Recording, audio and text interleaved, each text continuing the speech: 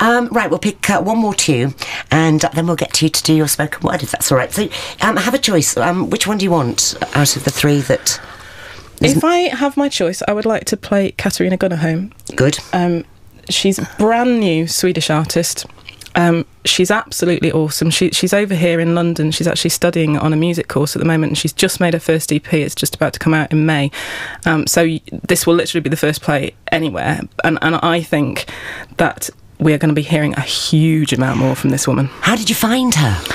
I've been aware of her for a while, um, known her for a little while, um, and to be honest, I, I saw a few clips on YouTube of just stuff she's done live, and, and thought she was awesome. She's got an incredible presence. She's got she's got an incredible confidence, and she's got a voice that I've you know the like of which I've not really heard before. It's a really interesting voice. So um, I just think she's I just think she's awesome. I think and I think the song is incredible. Okay, Katarina Gunnerholm and uh, England.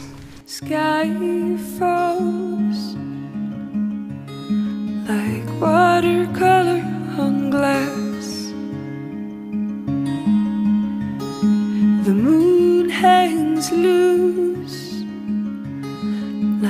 paper planes that crash.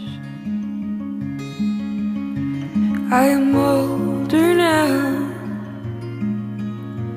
much older now. I can tell a kiss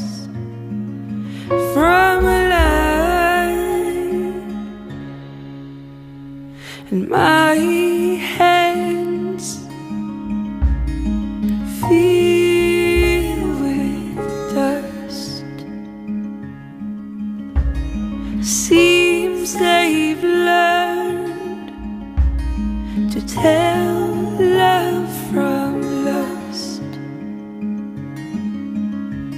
A silent request of nights at your chest, letters to God.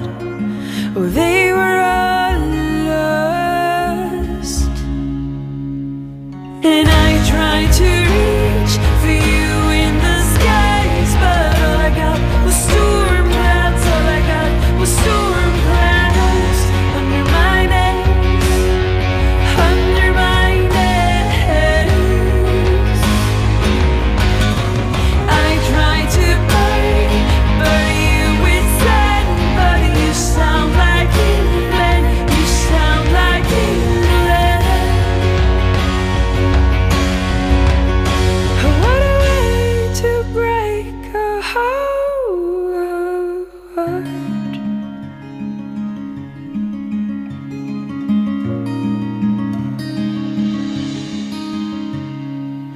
know all these people.